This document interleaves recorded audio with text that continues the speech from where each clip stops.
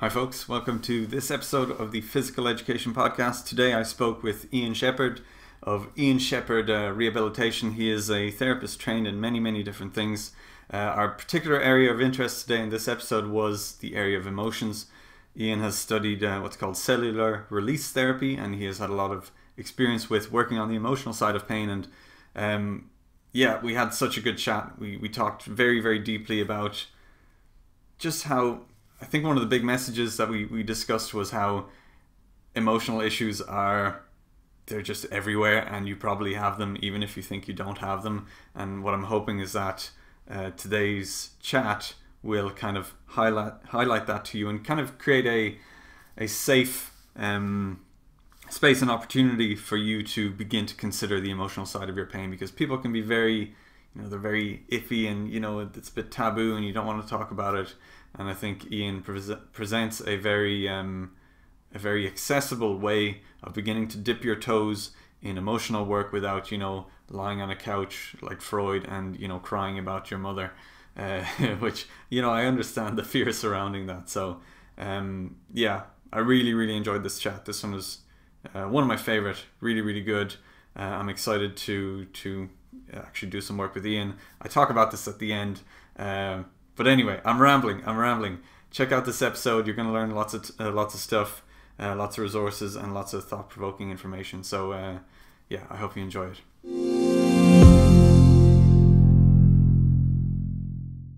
Welcome, Ian. How are you? How are things? Welcome to the I'm, show. I'm good, thank you, and thank you for inviting me to the show. You're very welcome. I'm just going to be candid. Like we're we're laughing now because we just we narrowly avoided a disaster of me not pressing record I noticed uh, about 10 seconds into the show that I hadn't properly started recording. So those are the, the reasons for the giggles. Uh, anyway, uh, Ian, thank you for coming on. So I brought you on um, specifically because you have experience very much in the realm of emotions and pain. And I think that's one of the areas that people don't seem to grasp. They don't really seem to, it's not very tangible. You know, we understand the mobility, we understand to some degree nutrition but the area of emotions and pain it's just a bit it's a bit taboo and it's a bit intangible. And i think you've got some some great experience some great case studies um, so i was hoping we could discuss that. So to get us going could you give us a bit of a background of what you do and how you came to do what you do? Yeah. Um, many years ago i started off personal training. I think that's most people's roots when they mm. start going down rehabilitation routes but I also found quickly, and it dawned on me that you treat, you know, you're taking clients into the gym and having no sort of concept of what you can do with them. You know, you go on a personal training course and you think, well, you know, you know everything. Hmm. And then, you know, I was always scared to say if somebody had back pain, oh, you can't do this, you can't do that. And it was also a thing back in the day where back pain was a serious thing. So I started going off down different routes, down the Chek, uh, Paul Chek stuff, holistic side, um, then approached across DNS, which I like and use quite a lot. Um, and then I sort of went on to NKT, PDTR, uh, emotional stuff was the next sort of big thing for me, cellular release therapy and Heart of Elijah. And then um, I think at the age, I must have been about 30, I'd had a car crash at 22 and I suffered a lot of knee, knee and uh, shoulder pain down the same side on the right side. And basically, I spent nine, ten years trying to correct the problem, if not longer. And everybody just said, "Oh, it's probably a nerve problem because where you bang your head on the window screen, mm. and it's probably just a nerve problem." So I don't know how much I spent. I must have spent in excess of ten thousand pound probably. I must mm. have seen most top therapists in the UK and even travelled across to the states to see people. And in the end, I come across. Uh, I think it was Jamie Francis sort of mentioned about she took cellular release therapy. Yeah. And um, I thought, well, I'd try this. You know, just mm. for the last go, just see if you know if it's going to achieve anything because I heard some good stuff that it you know gets rid of quite a lot of pain. Yeah clears um, intolerances and um, all kinds of problems and conditions. So I started doing the work of that, and then I eventually got my um, shoulder pain fixed, and it was literally uh, related back to a trauma I suffered when I was about eight or nine. And most people would look back and say, "Well, how can this be? You know, how can these problems, you know, from childhood relate to your problems now?" Yeah. Because everything is stored within the subconscious mind. You know, the subconscious mind never forgets anything what happens until it's cleared. So once I'd cleared this trauma of pulling a brick out, the painful of my shoulder went away. Yeah. Uh, and then I started looking at things from a different perspective, you know, and I thought, well, most things are related to emotional problems. Yeah. That most people don't want to go down that route. So it was just something where I got into and and then I started working with my clients, finding things related to clients and just clearing stuff, you know, what they've had for years. Yeah. And it's it's a real eye opener really because most people, like I say, just avoid anything to do with emotions. And you mentioned so you had tried many different things, a lot of the Yeah. big therapies, uh, and Yeah. some very good therapies. You know, PDTRs. Um, I don't like to get too bogged down in this therapy versus that No. therapy, but I think some definitely stand above others. Yeah. uh, and I think PDTR is one of those. But so you you did that, um, and you found cellular release therapy. Was that your first introduction to really looking at emotions? or had you experience of dealing with emotions before then? No, not really, because I, I think it's like you know most people are too scared to go down that route, you know, and I think that's yeah, uh, uh, yeah. I, I mean, the, cellular release was a sort of first time because uh, you know I didn't really want to go and sit and talk to somebody, Yeah. talk therapy, Sure. because you know what's to talk about. Yes, it might help in short term, Hmm. but you know long term, you know if you if you're not dealing with the subconscious mind Yeah. and only the conscious mind, Hmm. these problems tend to never go away. Yeah.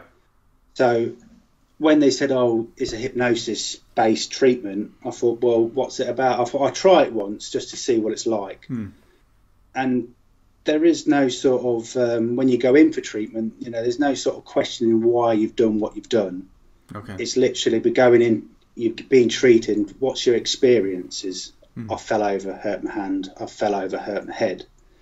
And it's just literally clearing the experiences from them problems, you know, and that's as easy as it becomes. And once I'd found out what was behind it all, I was quite happy to sit, you know, and go through my complete trauma list of clearing stuff, what's happened in my life. Yeah.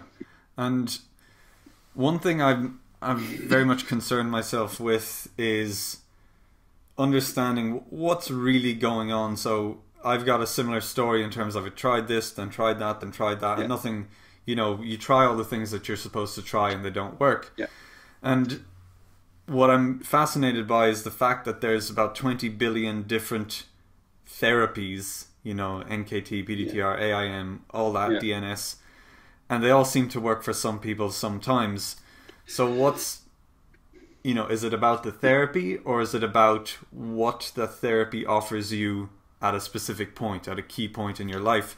So, um, my question is, with that in Yeah. mind, um, do you believe that your recovery was about addressing emotions in a broad sense or about cellular release therapy specifically or a combination of the two? I think with treatment nowadays, I mean, what you'll find, for example, if somebody has a spinal manipulation, and then what they say is a general thing, come back in six months for a maintenance. Hmm. So if you're going back in six months for a maintenance, you're not really fixing the problem. Yep. Um, and I think sometimes when you go for rehab, it will last for so long, but seven, eight years, possibly down the line, these things might come back to haunt you. Hmm. And un until you deal, I mean, they've always said I've been on a lot of courses. I mean, where they say emotions always top priority Yeah. over anything else. Hmm. You know, you can fix everything with emotions. Yeah. Yes, you might need some rehab to like you know stabilize joints, etc. Hmm.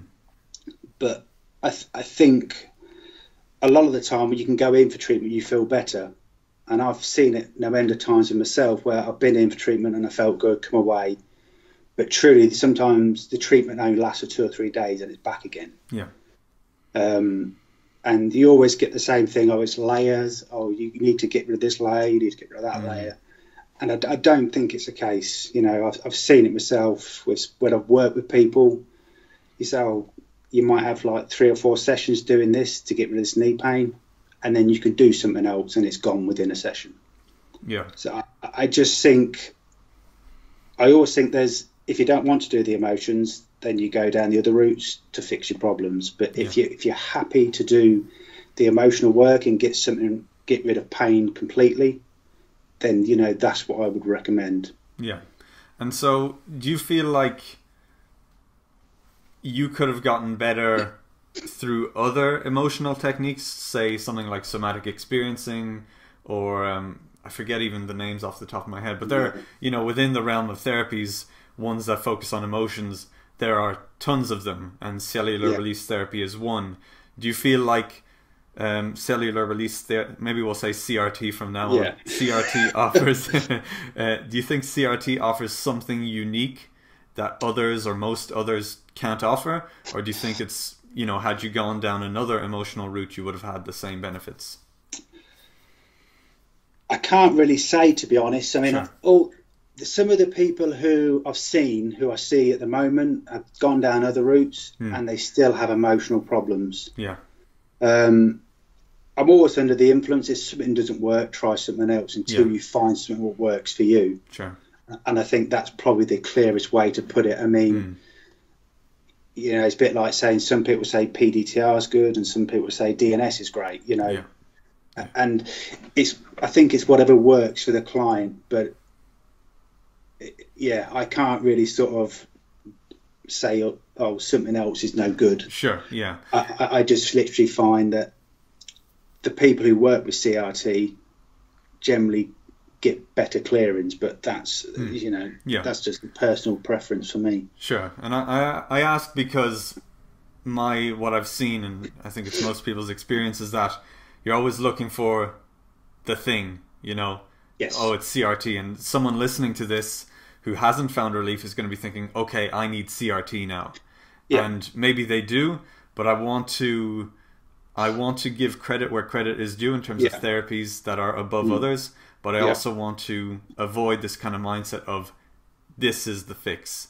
Uh, and really create that bit of space where people can say, okay, maybe this is going to help, but I'm not going to, um, I'm not going to outsource my recovery to this three-letter acronym you know, or to this no. external uh, idea. So uh, I think we'll we'll come back to um, what makes cellular release or CRT CRT um, unique and talk maybe about yeah. the mechanisms in a bit. Uh, to kind of lay a bit of, of a foundation, I think it might be worth kind of establishing the relevance of emotions to pain. So, yeah. how if someone comes into you, how do you what analogies or what how do you explain how thoughts and emotions can manifest physically and how that can lead to pain? Yeah, so when we continually exposed to emotions or um, emotional pain, whether that might be arguments within in the family, um, having a lost one, you know, difficulty in the relationship with somebody, this obviously changes the way the brain produces. Um, depends well. Uh, emotional pain is there, and obviously it produces a dependency on these the brain. I'll get it right in a minute. Take your time. yeah, change. Obviously, emotional pain. When we're exposed to emotional pain, obviously these changes in the brain that produce a dependency on these feelings. So, and while this emotional can be significant, it continues for a prolonged period of times it will probably end up affecting physical health. So you'll end up getting pain in joints, etc. So mm. when you're stressed, anxious, or, or the body, or upset, your body reacts in a way that tells you that something might be wrong. Yeah. So, you, for example, you might end up with high blood pressure, uh, stomach ulcers, uh, pain within joints, etc. Mm. Yeah. So obviously, neg- negative attitudes and feelings can create chronic stress, yeah, which um, upsets the body's hormone balance, uh, depletes, uh, depletes, depletes, uh, depletes the brain's chemicals required for happiness, Hmm. and then damages the immune system, which are all common things we see from day to day in treatment. You know, people are stressed, having immune system problems, get colds regular, etc., etc. Yeah. So chemicals are released by the brain in response to happiness. These are um, dopamine, serotonin, endomorphin, uh, endorphins.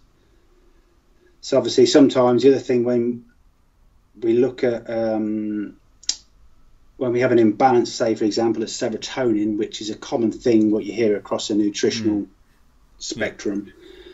Obviously, these increase anger, pain, anxiety, etc. Yeah. Um, and often, um, physical pain functions as a warning to a person there's still emotional. For me, there'd be emotional work to be done. Yeah.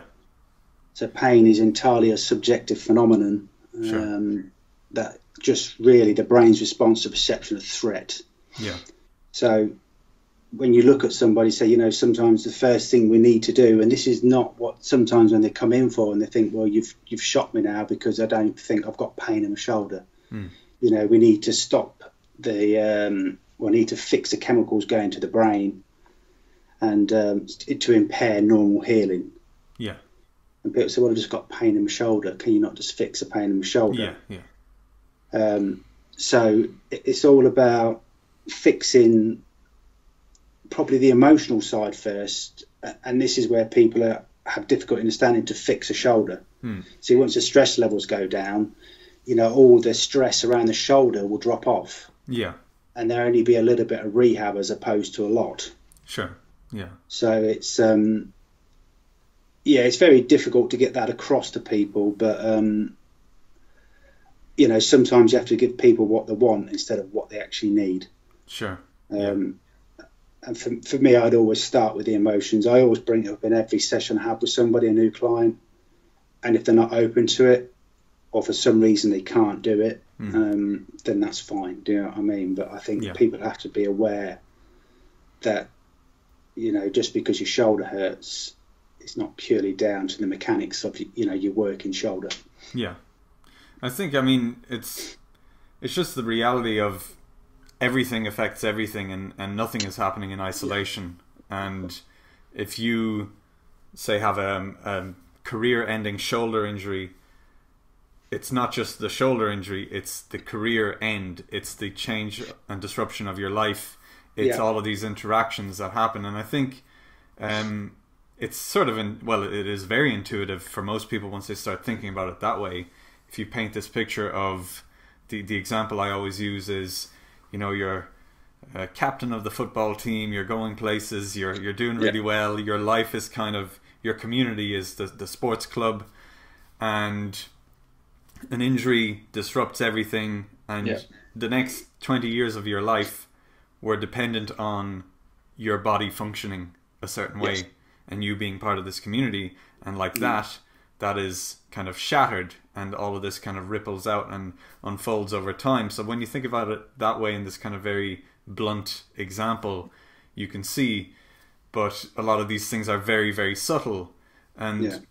In your own story you mentioned um, the history of, of an injury i think you said you were nine Yeah. and so, in your opinion, what do you do you think? Why did the issue not heal itself back then? You know, why has it persisted this long? Or can you Um, speculate? Um, I think when we experience trauma, the subconscious mind will store this trauma. Hmm. And until the subconscious mind has cleared the trauma, it will remain constantly stuck in the subconscious mind. Yeah, So, and obviously, as, as time goes on, when we don't deal with a trauma, it's everything gets stockpiled. yeah, And then when things get stockpiled, things get full. And then obviously it manifests probably into the body more and more and more. yeah, So until you deal with these problems, they just don't go away. But I can't.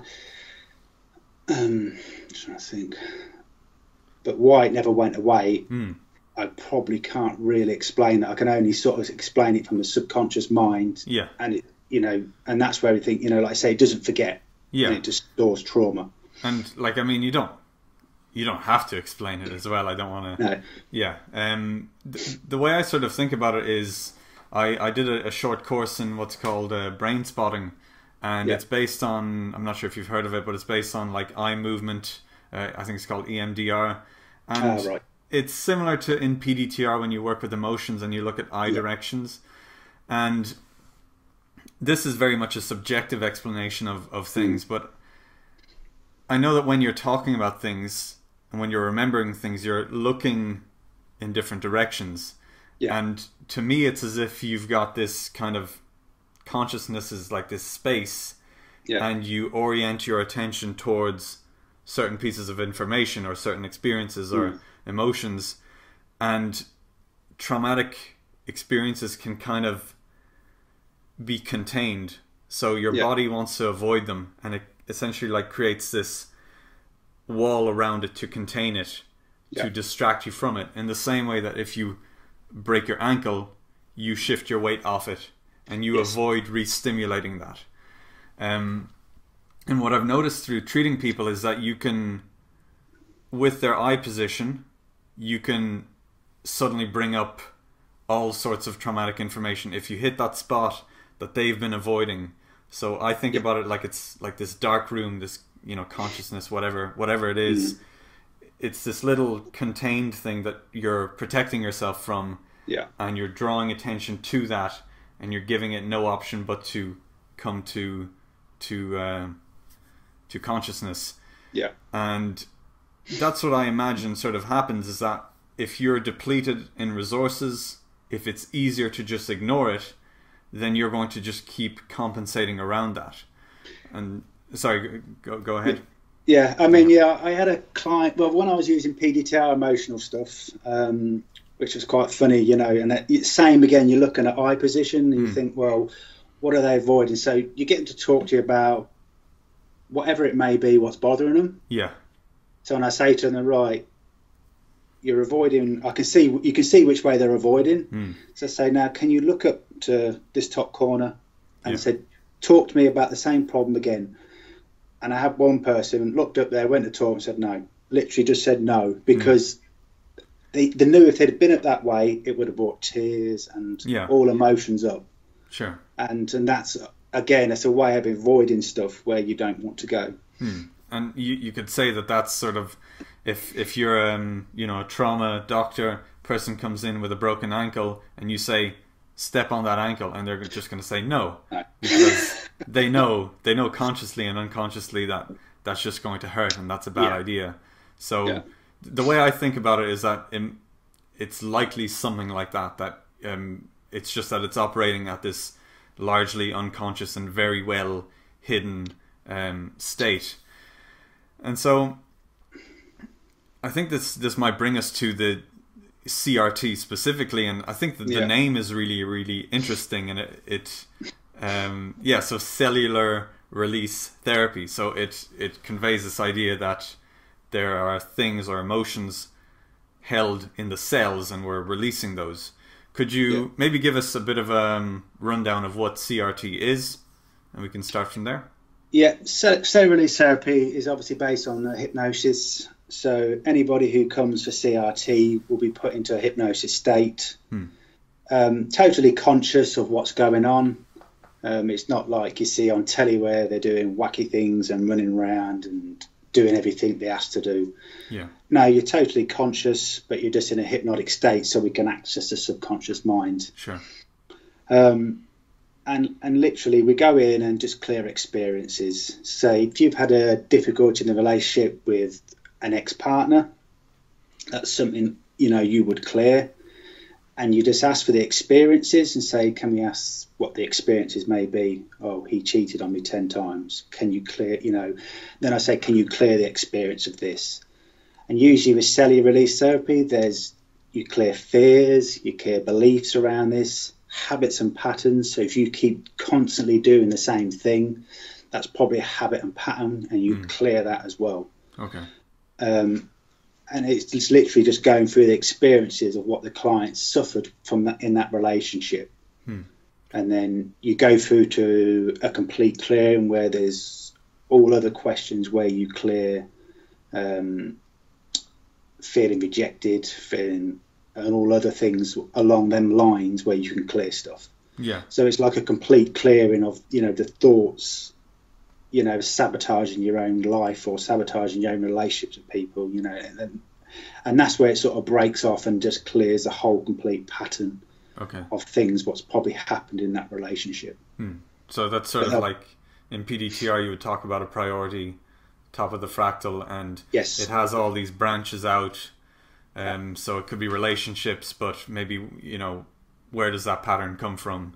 And so you're clearing all of these things, but you can clear sort of the top priority and the key Yeah. key sort of issue. And when you say release, is this kind of um, is this sort of a, an abstract thing, or is this like you know it's? I presume it's not release in the sense of a soft tissue release. No, I mean what you'll find it will take tension without the muscle. So Yeah. there's there's no need for a massage as such, in my opinion, because it just literally gets rid of tension. Yeah. Um, like I say, you know, one session is not going to fix Hmm. everything. Sure. You know, all your tension in your body. You know, sometimes you have to clear because this work is deep, and a lot of things are very deep. You know, and it's passed on, which we'll probably talk about later, from child to mother, etc. Yeah. Um, so, you know, literally, I say, can you release and clear all of this now? So, what happens? The body's releasing this trauma, whatever you experience, and once you've cleared, you can lift your fingers because you only you literally talk with your fingers. You don't answer. You just say you've got an index finger for yes and a little pinky finger for no. So Okay. when the experience is cleared, raise your finger to let me know, and then after that, it's cleared and it's done, Yeah. and then you move on to the next experience. So, um, let me see if I have this generally right. So you're Yeah. quietening the more active chatter of the conscious mind, and Yeah. you're communicating with the unconscious mind. The subconscious, yeah. The yeah. So do you make a distinction between unconscious and subconscious? Well, when you're in a hypnotic state, you'll be using the subconscious mind. That's the only way Oh, you yeah, can 'cause, access yeah. it. It's funny. I I hear so many different things on. That, that's a separate topic. Yeah. It doesn't really matter. Uh, so we will say uh, subconscious. Is that that correct? Yes, subconscious, yeah. Okay. So you're communicating with the subconscious mind, and are you basically sort of asking it to do something and giving it directions to do direction. something Yeah, giving it a direction to clear that, that experience. if it's willing to? Yeah, and if it's not, then you have a resistance protocol where you have to find out a way to clear it through the resistance protocol. Okay. So you kind of work around that. Okay. Yeah. Um, I have a few, a few different tangents to go on from here. You mentioned, and I was reading on your website, the idea of ideomotor signals. So you're using a finger for yes, a finger for no. So could you explain that to, to those who, who aren't uh, familiar? Yeah, when when you ask, when you're in a hypnosis state, there can only be one answer, and the subconscious, like I said to you before, never forgets. Uh, Okay. So when I ask you a question, say, is there more than 10 experiences of back pain, for example, that would be an easy one to say. Sure. And if there's only 10, and if I say, is there, is there more than 10, it, and you'd be only be able to lift one of the fingers up. So it would either be a yes finger or a no finger. So the response is, when you ask the questions, the yes finger would be only 10 experiences. And then I say, is there more than 10? And you go, no. So you can only lift one of the fingers up in response to a question. Okay. And that's how, and that's how you'd clear experiences. Yeah, and I like this is another thing with ideomotor uh, signals or idiomotion. I've heard different. You know, I don't know that there's a consensus on what it is. So just to be clear about what we're talking about, is is this dependent on being in a hypnotic state, or is this something that Yeah. can be experienced uh, consciously? No, because e- everything is stored within the subconscious mind. So you have to be in a subconscious state or hypnotized, as we class it, to clear these experiences. You can't clear, you know, you can only clear so much from the conscious mind. Okay. So until you get into that subconscious mind, you know, it's very difficult to clear these, you know, traumas which are being carried for quite a long while. Sure. And do you think that the I, I kind of think about it as being similar to the way we do muscle testing in PDTR, but that that can work on well maybe it's it's working on a subconscious level. Um, do you feel like that is completely different? Because I know some people do self muscle testing. Is that a completely yeah. different thing? I think people do. No, yeah. I mean, that's not within the subconscious mind. That's you know, sometimes if your thoughts are too much within the pulling, yeah, then obviously you can influence the answer. Okay, so um, I might um, just explain that for for anyone who's who's not familiar. So in therapies, uh, for example, PDTR, we use muscle testing and use yeah. a test to um, determine the effect of a stimulus on on the body. So what yeah. some people will do is they will ask themselves something and they'll use like a finger uh, ring test. I can't remember what it's called, but yeah. if you pull, you would establish what a yes and a no is. And is my name PA? Yes. Is my name John? No, it's not. Uh, you know, but you would ask better questions. Um, and so what I've um, what I practice myself uh, through sort of meditation is just introspection and kind of feeling for you know what you know i sort of ask myself what should i do? Should i do this or where is this problem rooted? And i'll bring up mm. i do a lot of emotional work myself but i've never done crt and um, you know i just kind of do it in this intuitive way. Um, but that would be different because it's not working at this hypnotic level would you say yeah, yeah. I, I, mean, there is some meditation. People say, "Oh, the access of subconscious mind," but it doesn't. You know, it doesn't really go deep enough. You can't access it deep enough. Okay. And go into a hypnotic state, you can access it very deep. Yeah. And with in terms of inducing the hypnotic state, is that um, is that the kind of cliche of holding, you know, the the... no, it's just it's a relaxation paper and yeah. there's many papers about which you can use, and you just send the body into relaxation, and then you say, and then you ask, is the sub- subconscious mind ready to work? Is it wh- where it needs to be? Okay. And it's either going to be yes or not. If no, you need to do some deeper uh, progressions to get it into um, into the subconscious relaxation, the subconscious mind, basically. Sure. Um, and a, a, lot of your cases, um, your sort of case studies on your website and your social media yeah. uh, seem to place an emphasis on childhood trauma or childhood experiences. Yeah. Are we? Would you generally say that we're more susceptible to emotional trauma in those early years versus later? Right. Um, this one gets a little, a little deep. Um, that that's fine by me if, yeah. if you're happy. right. Um, before I always say to people before having children, you must be emotionally and nutritional stable mm. before having children. Sure. Um, and, and, anybody can have children. A drug head, mm. you know, somebody who's on tablets all the time, medication. You know, anybody. Yeah.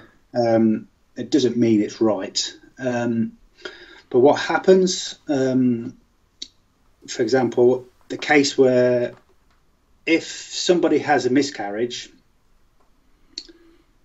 then the next child will feel this miscarriage okay. before it's even born. So the child or the fetus will pick up on everything the mother is feeling inside. Before it's even born, you be installing emotions into this child. Hmm.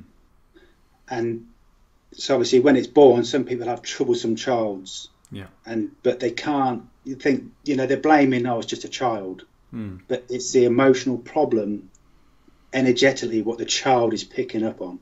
Yeah. So sometimes some things are imprinted into the child before it's even born. Okay. So, and this is where again it's important for a mother to be emotionally stable and nutritionally stable because the fetus feeds on everything the mother's given it. Mm. Not just the physical nutrition, but the thoughts. Yes, yeah. the thoughts. And so some. Sorry, no, keep going. Yeah. yeah. Yeah. So sometimes, obviously, when this child's born, you know, it might have problems. Mm. You know, if it's born with something, then sometimes you can't change what that's born with. So if it's born with um, Asperger's or something along them lines, it's very difficult to change. You Sure. know, if they've got Tourette's, they're born with Tourette's. Again, that's very difficult to change. But a lot of things, it is possible to change, but you have to work with the mother and with the child. More so with the mother because Hmm. energetically, the child's still picking up on all this trauma. Yeah. Okay. Yeah. And um, I have a couple of questions there, but just one thing uh, going back. So this sort of whole idea of passing on, you know, your yeah your, your thoughts and, and imprinting your thoughts, your fears, your phobias, your traumas Yeah. onto your child um, during gestation. Mm. What sort of because I, I'm sure you know I'm I'm totally open to, th- to this kind of stuff, and it seems very intuitive. But I know that someone listening will be well, you know, citation needed or this kind of stuff. You know, whereas you know Neil deGrasse Tyson hasn't talked about this, therefore it's not real. Is there? Does this pertain to a specific field of science or study um, that people could look into more, or is this more uh, intuitive, which I would say is perfectly legitimate? Yeah, um, I've never seen no scientific stuff. You know, I think they've done. I did read somewhere. Sometimes emotions are present at birth. I read somewhere on a paper somewhere, Yeah, and I can't remember what the paper was, but um, I think like a lot of it, you know, because emotion is very spiritual stuff. You Mm. know, and you've got to be open to change. Yeah. Um, yeah, and I just don't think, from what I know, there's any papers to suggest that this is out there. But you Yeah. know, from people working within this field, and you know, we've seen changes, especially across CRT, Heart of Elijah stuff. What we use, that you know, this stuff has a profound effect on create, you know, creating people's better health. Sure. And I mean, there, it's another rabbit hole of the whole scientific community of what gets research and why and Yeah. agendas and that kind of stuff. So I think for anyone for anyone listening who's like, well, until there's a double-blind um, controlled trial on this, I'm not going to believe it. I think you need to you need to understand uh, how the industry works a bit and and maybe just remain open to these things. So Yeah. uh, I think ultimately the proof is in the pudding. You know, if it works, it works, and that's it. Uh, we shouldn't necessarily get bogged down. But I just wanted to make sure that we kind of address that. Um, so the other thing I was interested in is you mentioned there you should probably, if there's an issue with a child, you you would be possibly better off treating the mother or treating the parent. Yes. Um, could you expand on that? Yeah, um, I had a um, personal case because it's one of my own family cases where you have to look at, you know, I looked at my wife and I said, um, you know, my son was having problems. He he had problems staying dry. You know, if you go on the internet, you see all the scientific research of basically saying, oh, it could be posture. You know, that obturator nerve could be trapped. Hmm.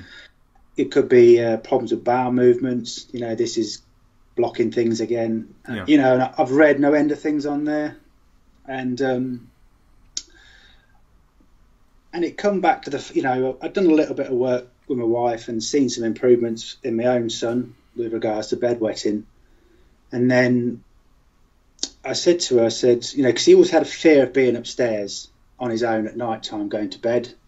Hated it, you know, it created no end of problems with us. Um, and then we decided, I said, right, let's, I said, have you got any problems? I said to my wife, you know, going upstairs, you know, being upstairs on your own, etc. And she said, yes. Okay. So, and this was about two years into treatment. Um, and I said, right. So we cleared about six experiences of being upstairs. And the next day he was dry because that's this is how quick it sometimes works. It's, it's Yeah. literally the next day. Wow. And ever since then, I think January, February time, and he's been dry since. No accidents, no nothing. And what you see sometimes when people try to fix these problems with tablets, etc., you'll see a relapse because obviously there's obviously still a problem. Yeah. Yeah. But people don't see the emotional connection. When you get rid of, when you break the emotional connection, the problem goes away. Hmm.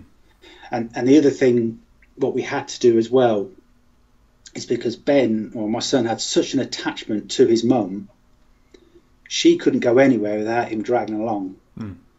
So I had to get some remote work done from him by a couple of uh, Ann and Robert in America who do uh, Heart of Elijah work.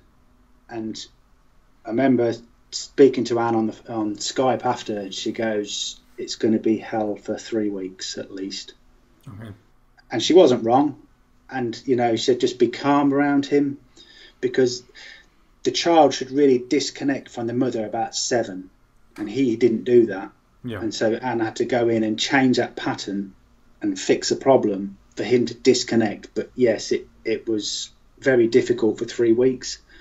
But then all of a sudden, you know, he wasn't bothered when his mum went out. Okay. And again, that's just again, it's I think it highlights the fact that you know the mother is a key in treating a lot of children's problems. Yeah. And do you think that's um, through the the physical connection through uh, giving birth and through Yes. gestation and that, um, or is it, it? Well, uh, it's obviously going to be that, but is there also then just the the the presence through uh, through the upbringing? Is that also very important? Yeah, the, the emotional attachment between mother and child is very strong, very Yeah. very strong. You know, Sure.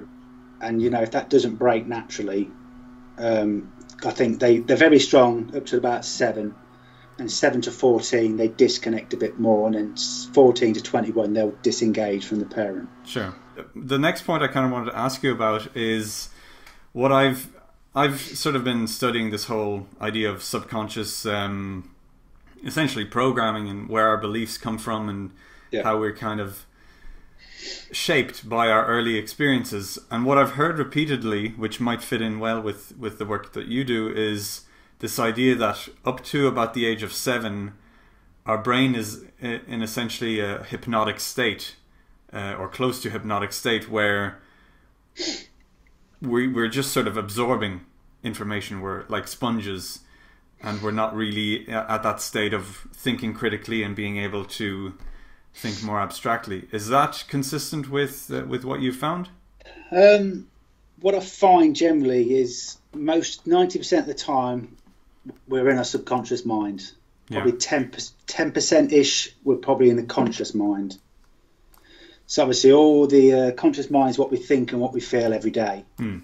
Uh, the subconscious mind generally is when our uh, everything that's happening within our body or within our life, the behaviours, fears, beliefs, patterns, and the way we um, see ourselves is the subconscious mind.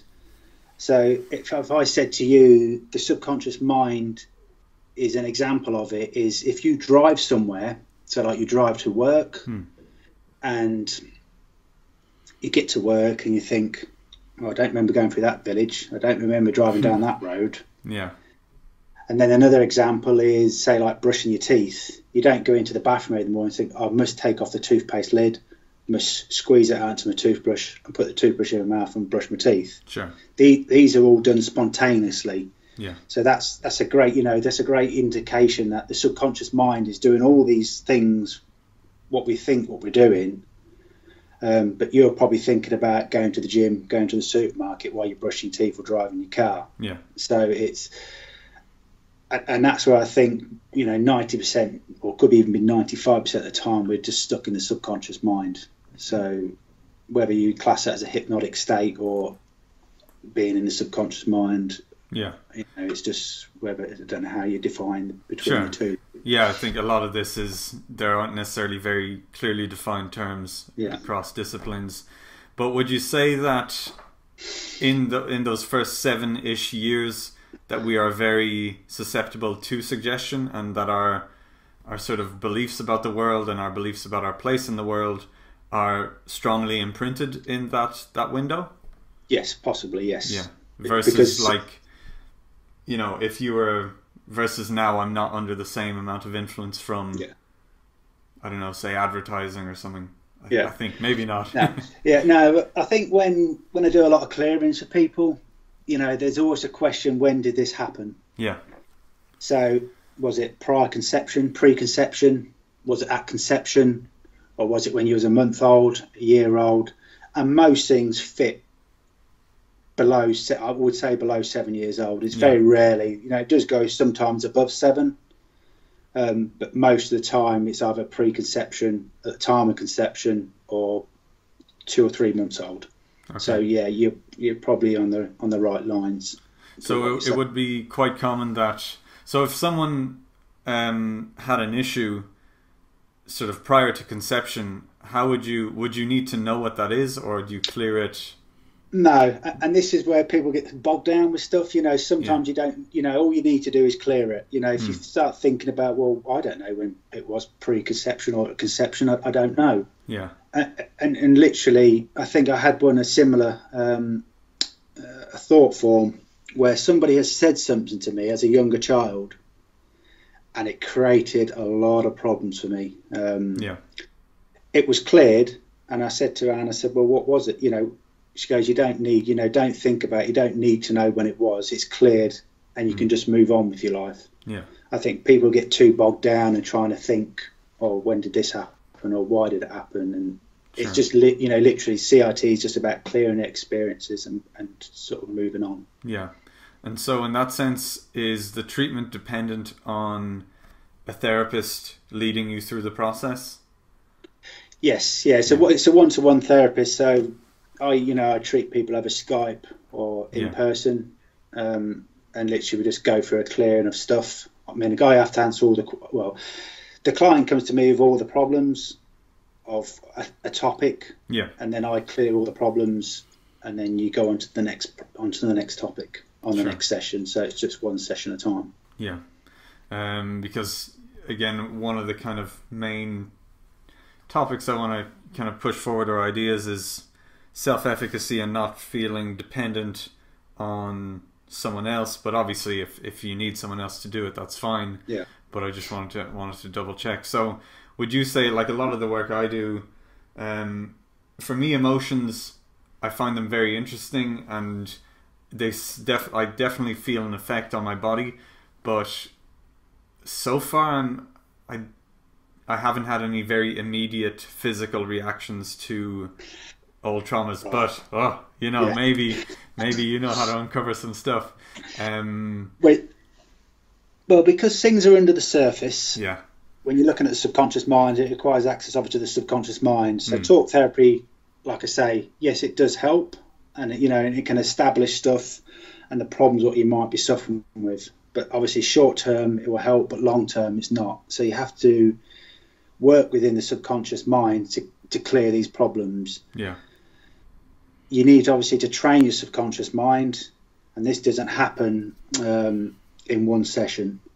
You know, the change. This is why change is difficult, and that's why change can take a long time because these things are deep-rooted problems. Yeah. You know, if you've had them for thirty years, it's not something you can get rid of in a session. Sure. So it, it just takes a lot longer.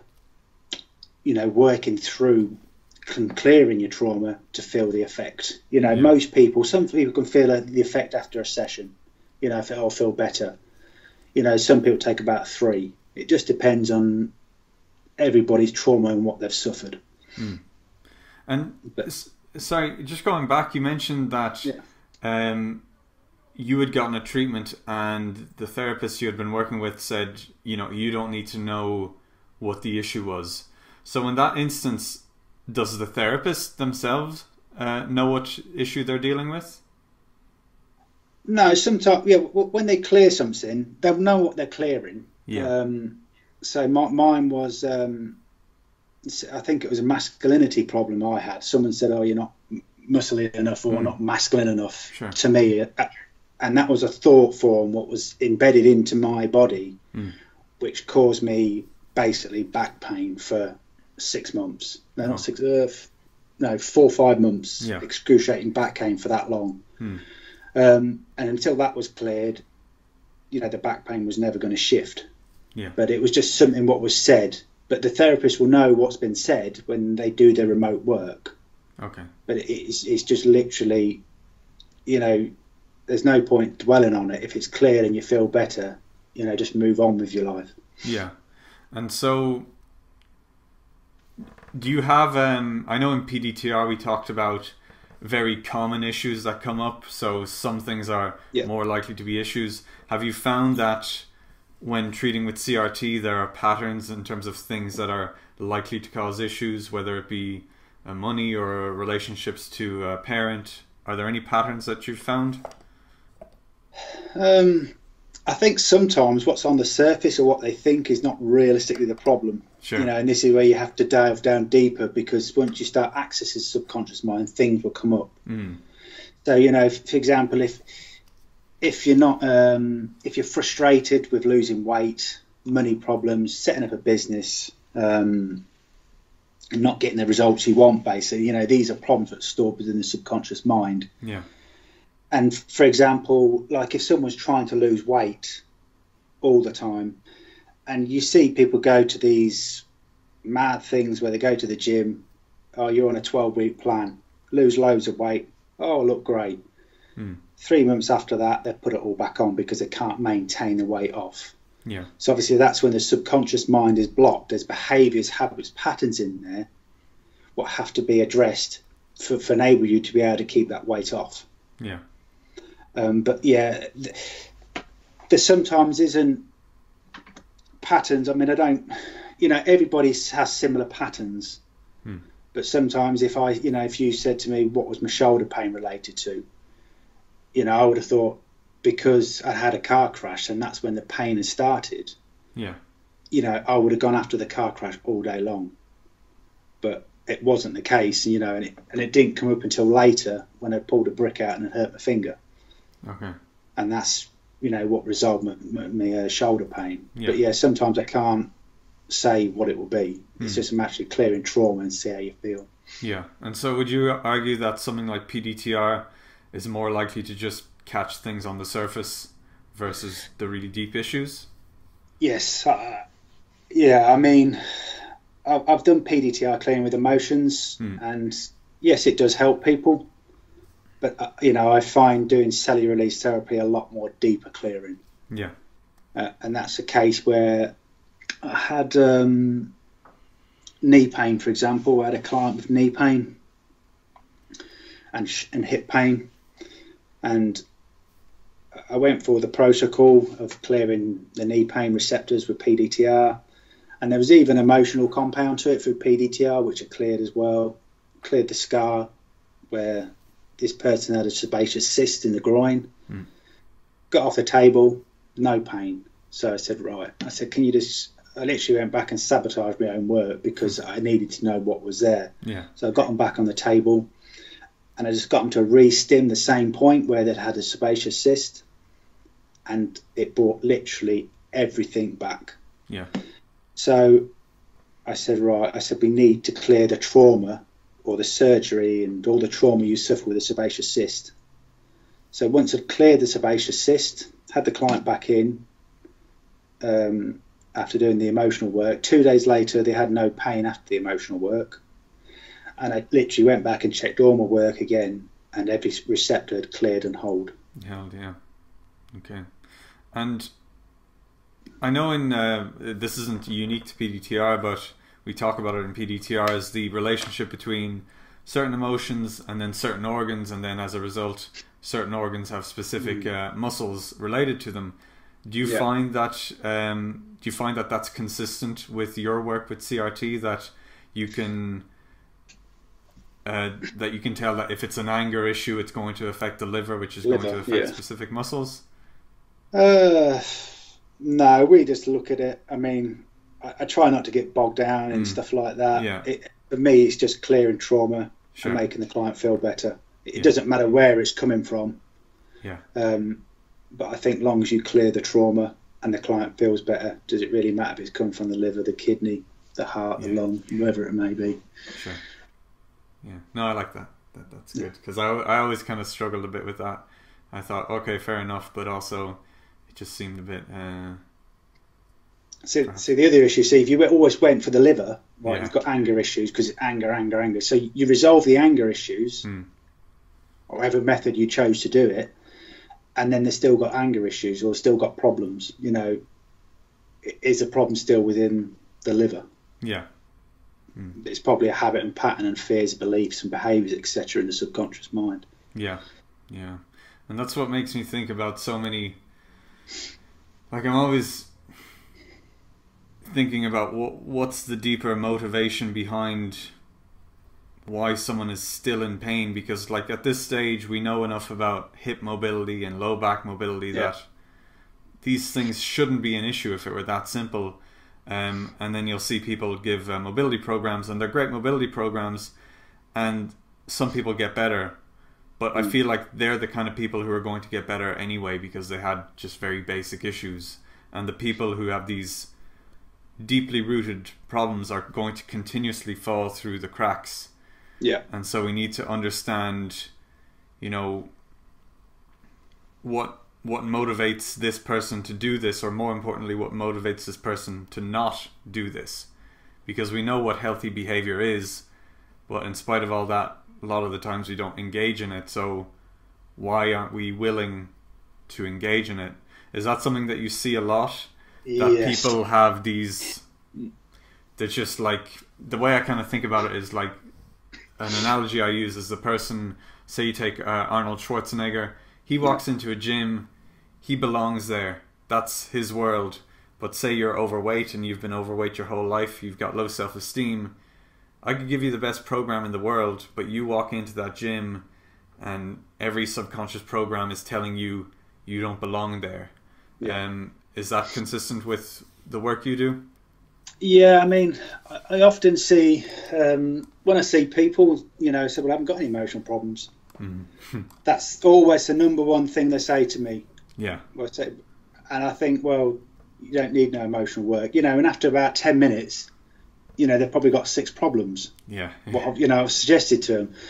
Um, but yeah, I mean, weight issues, like I say, and that's that can take a little while to resolve because these problems go very, very. sorry Yeah, still there. yeah Yeah, some sort of connection So I think we just lost internet yeah connection. I'll, I'll cut that out but you were talking about um, uh, weight issues are very deeply rooted yeah, yeah and obviously, you know, sometimes it's a protection what people use um, to not to lose weight, but uh, yeah, when you see people can't shift weight or they can shift so much weight um, and they can't shift no more, Hmm. then sometimes you have to do the emotional work. Yes, you have to improve your nutrition. You know, this is all you know. It's not sometimes all about the emotions, but you know, emotional work is probably the biggest part of it.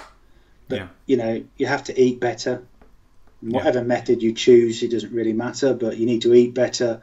You need to do the emotional work, and then as time goes on, you'll find things will start to improve.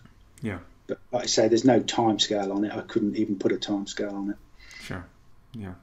Then that's fair enough. I, I Yeah. don't think. I think that's that's another issue we have. It's all very like, you know, it, it kind of uh, takes the humanity out of the issue. It's like you can't separate the individual and the environment from the issue. So, No. talking about, you know, very strict timelines and that kind of thing can be counterproductive. I think So- that's where the industry's gone a bit Yeah. bit wrong, really, because you know oh, we can fix this really quick, Mm. and you might be able to fix something quick, but it, underlying things that just take time. You know, they've Yeah. been manifested for quite. You know, something's been manifested for twenty years. It ain't going to go in a session. Do you know Yeah. what I mean? It's and I, I think people just get the wrong side of things when everybody comes out and says, "Oh, we can, yeah, we can fix that in so many weeks." Mm. And I think, I think part of the issue is that we probably don't realize how bad things are, and when like the solution in so many cases, like the the way I'm thinking nowadays, I'm thinking, well, you need a job that's not soul destroying. You need to do something fulfilling. You need to not be weighed down by all of these societal forces, and Yeah, that's not in a lot of cases that's not realistic. So you know can i offer a true solution or can i just offer you know a mobility program that's going to you know keep your hips healthy? And that's all well and good but i think the gravity of how deep a lot of these problems are is um probably a bit terrifying you know it's certainly terrifying to me in some cases like thinking well you know this is this is a big issue and uh, we're probably never going to get get down to it um so without getting maybe too bogged down in that what do you think where do you think we've sort of fundamentally gone wrong with the overall uh, overall treatment of pain and health conditions? Mm, that's a good question. Uh, well, I mean, can yeah. it be boiled down to a couple yeah, of yeah. bullet points? Maybe not. I, I think sometimes when it's like if somebody doesn't want to do emotional work, something else is created. It's a bit like the drug industry. You know, if you have a cold, they give you a tablet. They'll create a tablet for it. Yeah. You know, if you've got little red patches on, they give you a cream for it. Hmm. You know, there's always other things because people don't want to do treatments because they'd rather just go to the doctor and say, right, I want some tablets for high blood pressure, but I don't want to change my lifestyle. Yeah. You know, if a, if a person's not willing to change, then there's nothing you can do about it. And, mm. and I think that's part of the reason, and I think that's the world we live in now. You know, mm. it's all about money. You know, emotions. Yes, you have to pay for treatment, but on top of it, you know, there's not really anything to sell from it apart from making, you know, shifting your energy from bad energy to positive energy. Mm. And I, I just think, you know, people are happy going having a crack every six weeks. Yeah. And I think that's just the world we live in. I, you know, I don't know why things have gone wrong and why we do things, but I can only assume that, you know, every treatment out there fits to somebody's lifestyle. Yeah. And I think you know they're just happy with doing osteopathic stuff, massage, nutritional stuff, emotional stuff. It all depends what fits their needs. Sure. And I think you know, like motions is always one of them things what's been pushed to the side because people are just too scared to sort of delve into the past where most of the problems are causing what's happening in the future. Yeah. Or, or present, should I say? Absolutely. So as we sort of begin to wrap up, we're we're kind of, you know, someone listening to this is thinking, well, okay, I'm ready to confront this this emotional side of things. Um, how could someone work with you? What resources do you offer? Uh, basically, how can someone in, embark on this journey yeah. with you? Um, well, I, I, work over Skype, so I mean, I've worked yeah. with people in America, in Ireland, in the UK. Um, so there's no limit to where I can work with somebody mm. or I can work with somebody in person. I mean, like I say, they can they can get in touch with me. At, you know, if you look for Ian Sheppard Sports Rehabilitation.com, yeah, uh, that's my website, and obviously on Facebook, Instagram. But that's probably the best way to sort of be able to clear some emotions and trauma if yeah. dealing with emotional stuff. Brilliant. And I'll, I'll include links to everything, all of your work, and, yep. and we'll share this in uh, our various uh, social media outlets. Um, I know we both had notes going into this. Is there anything on your side that we didn't cover that you wanted to, to cover? No, I mean, it's. Um, I think with every treatment, you know, you have to give it time, whether it be emotions, osteopathic, PDTR, whatever it may be. Yeah. You know, nothing is a one session fix, and I think people just need to get out of that mindset. You know, there's a lot of good practitioners out there who work within this field, and um, sure. you just sometimes got to give these people a little bit of time. Yeah, and um, a lot of the work I do um, in terms of my own sort of self care and uh, on the mm. emotional side of things, I do a lot of writing, a lot of uh, just contemplation, and just spending time with my thoughts. Are there any? Uh, obviously, we established that you know for to actually do CRT at that subconscious level, you need yeah. to work with a practitioner. Is there anything that people can engage in that's going to be beneficial on some level in terms of self care? Yeah, I mean, you know, you can imprint daily affirmations. I mean, yeah. there's there's stuff you can find on YouTube, but you can mm. listen to for ten minutes. Sure. You know, it's all about just installing positive thoughts and being open and um, loving, etc. Yeah. So there's all things you can sort of say to yourself every day. Hmm. And obviously just be aware, you know, obviously if you're getting triggered by something or, you know, you're not feeling right, just make notes of these things and then, yeah. you know, just try and either clear them through emotional work or just find some sort of meditation program where you can sort of release these things. Yeah. Okay. Brilliant. So all hope is not lost because obviously it's very easy to, to work with you once you've got Skype Um, Yeah. But yeah, I think it's always good to have uh, tools and strategies. So that, that's something I found very useful. Uh, I'm definitely going. I'm now. I'm uh, CRT was always sort of on my list of a million things that I'm going to do eventually, but now it's kind of shot up to the top of that list. Uh, but until then, I, I've got you know things like writing therapy and just writing therapy. It sounds fancy. It's just writing. You know, it's just journaling and exploring uh, thoughts and emotions. Um, brilliant. So um, yeah, thank you so much for for taking the time to do this. I think we, I think more than anything, the goal is to just kind of get people to consider the validity and significance of emotions, so that um, you know, I'm always concerned with the fact that if someone has pain, they'll think, "Oh, I'll go physio, chiro, doctor." You know, it's obvious. You know, Yeah. of course that's an option. But Yeah. not many people think, oh, I've got pain, maybe I should see my CRT therapist. Or what even is a CRT therapist? So I think the goal with, with this and this, this kind of content is that one day, whether it's in a year or 50 years or 100 years, the person in pain is thinking, okay, yeah, maybe I should go to my CRT therapist. And that's a widespread thing that people understand. So um, thank you for, for sharing your insight and uh, Yeah. playing a part in educating people. So, yeah, thank you so much for taking the time. Yeah, pleasure, pleasure. Well, thanks for having me. You're very welcome. So that was my episode with uh, Ian Sheppard. Um, I really, really enjoyed that one. That was great fun. We actually we kept talking for about maybe 15 minutes after we stopped recording.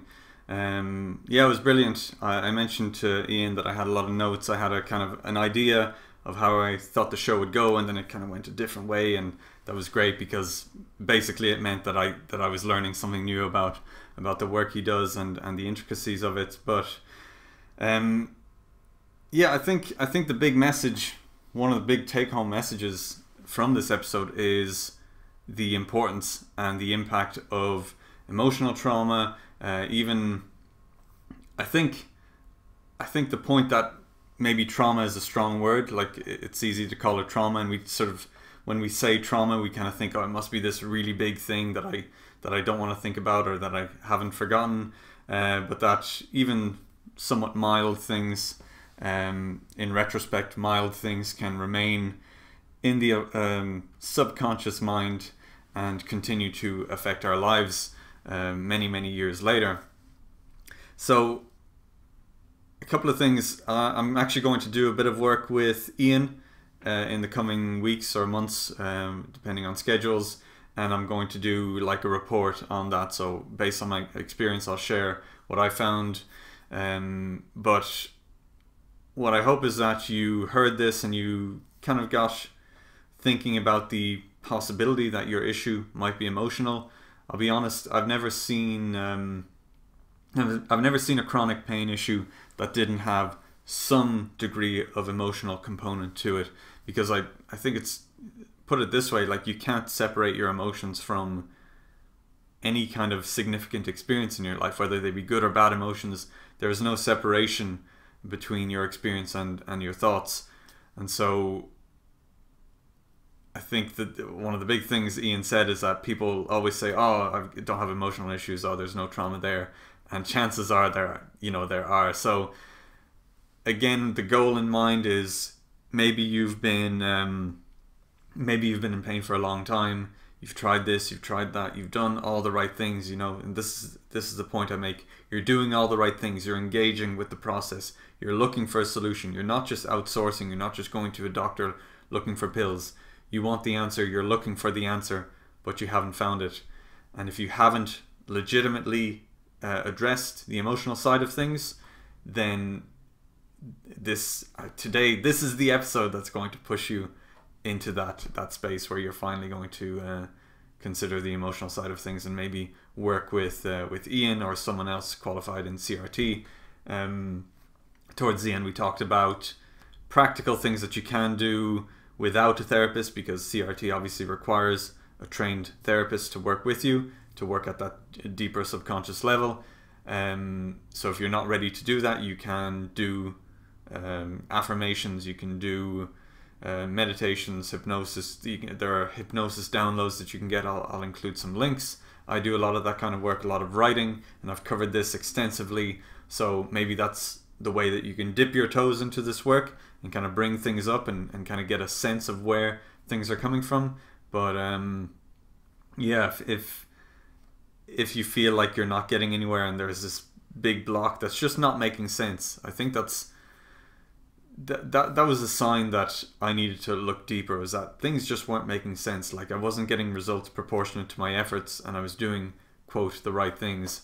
So if that's your experience uh, I would highly recommend just talk, talk to Ian even try try a couple of sessions. Like you said it, it can take a long time uh, but you know that's that's just the reality I think.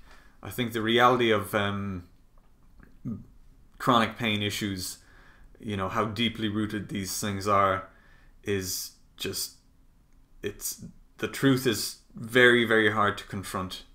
I think stre- uh, I think life is inherently stressful and really really deeply stressful and I think our society is very very stressful and it's just as much as we've got many luxuries and many great things that we didn't have the pa- in the past and I don't I don't want to romanticize the past and I don't necessarily want to go back in time but I think we've we live in a world that's just made to make us dysfunctional and made or maybe not made but it just inherently makes us dysfunctional and inherently will cause problems. And until we resolve the wider societal issues we need to get on board. We need to start um, yeah we need to start realizing how deep these issues go. And um, one of the deeper places it goes and one of the most influential places it goes is in our emotions in our subconscious mind. So um, yeah, I'm rambling. I'm rambling as usual. But uh, yeah, if you, I hope you enjoyed that. I hope it, it was thought provoking. I hope there were maybe a couple of light bulb moments. Please uh, check out Ian's work. He's on Instagram. He's on Facebook. He's got a website. Great case studies, and get in touch with him. Book a session or find, you know, find another CRT provider if you want. Um, but just uh, yeah, take this as as the nudge in in the right direction because I think ultimately even if it's not the true answer to your issue, maybe maybe there's something different. It's going to shed light um, on on how your body works, how your mind works, and that can only be a good thing. I think. Uh, I think more knowledge is always going to be good, ultimately.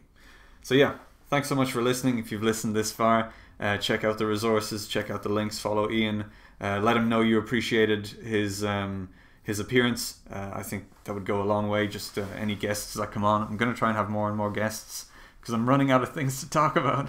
Um, but I'm going to, and also because they've got very valuable things to share that I that I can't share that I don't know. But I'm going to try and have more guests on. So uh, as a general rule, if you if someone was on and you really enjoyed what they had to say, um, send them a message send them a comment on Instagram, whatever, and say, I enjoyed your appearance on the Physical Education podcast so that they know that their time is well spent and that they are making a positive uh, difference. So, yeah, there you go. Thanks so much for listening, and I'll see you in the next episode. Bye. Thanks for listening to this episode of the Physical Education Podcast. If you're the kind of person who likes to help others, then share this with someone in need. If you found value in the information here, they will too. So please share this in whatever way you can. If you have any questions, you can email me directly at pa at thebackpaincoach.net. I may even use your question for a future podcast episode. If you'd like more information to help you overcome pain, be sure to follow The Back Pain Coach on Instagram, Facebook, and YouTube and to join my newsletter. The major turning points in my own recovery have come from changes in perception and through learning more about myself. I believe that we can help others by sharing information that expands their minds. Finally, I'd greatly appreciate if you could leave a positive review on iTunes or Stitcher so that others may find this information and you can play a positive role in their healing journey. Thanks again for listening.